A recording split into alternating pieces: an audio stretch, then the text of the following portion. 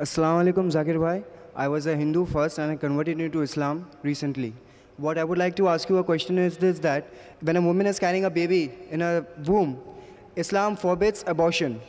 But if a woman is facing some kind of a medical problem, if she's anemic, or if she has just delivered a baby recently, in recent months to come, and there's always a threat to her life, non-Muslims doctors say to abort it, and the Muslim doctors say it is haram, and someone who's a little bit modern has said that if the child is for 40 days in the womb, before 40 days you can abort it, after 40 days it is not possible. You cannot do it under Islamic law. Is that right or is that wrong?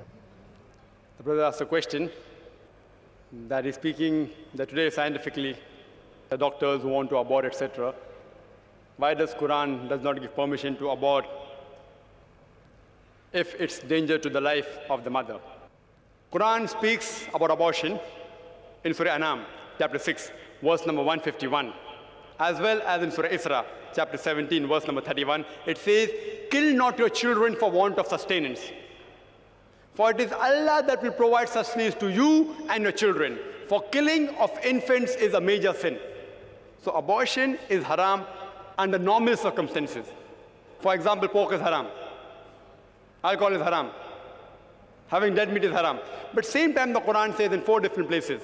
In Surah Baqarah chapter 2 verse number 173, in Surah Ma'idah chapter number 5 verse number 3, in Surah Anam chapter 6 verse number 145, and Surah Nahl chapter 16 verse number 115, it says that if unwillingly, if you disobey Allah subhanahu wa ta'ala, Allah is Rahman Rahim. If under compulsion, if you disobey Allah subhanahu wa ta'ala, Allah is Rahman Rahim. If you're dying of hunger, pork is the only dish that you can have. Pork becomes halal for you.